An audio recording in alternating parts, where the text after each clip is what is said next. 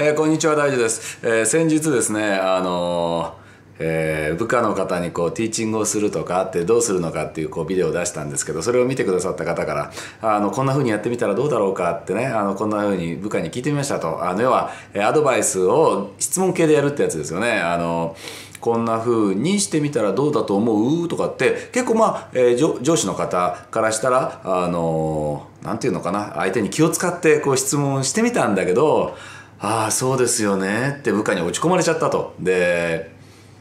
なんか、え、結構気遣ってやったつもりなのに相手のこと傷つけちゃったかなとかなんかプライドを、えー、ねなんか下げちゃったかなへこましちゃったかなとかって思ってあのどういうふうにしたらいいんでしょうかってこう相談してくれた上司の方がいたわけです、えー、私の回答は変な回答なんですけど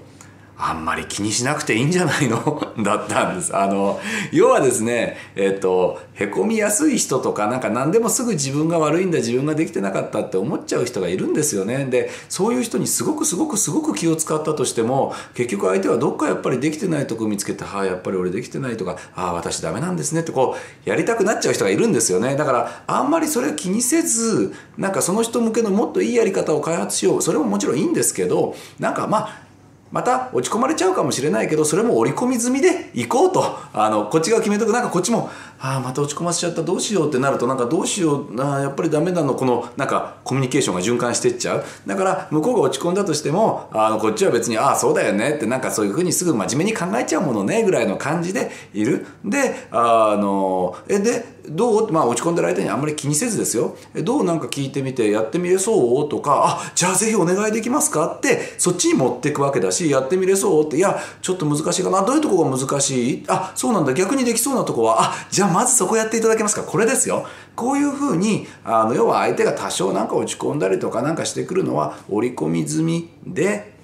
何かまたそこからコミュニケーションをとってやれるとこを見つけてやってもらうとか。もしくはなんか「あそうですよね。なんかこういうの自分で思いつけばよかったんだけど」とかって言われたとしても「あやっぱりじゃあなんかいいなと思ってくれるんですね」とか「どんなところがいいと思ってくれるんですか?」とかあの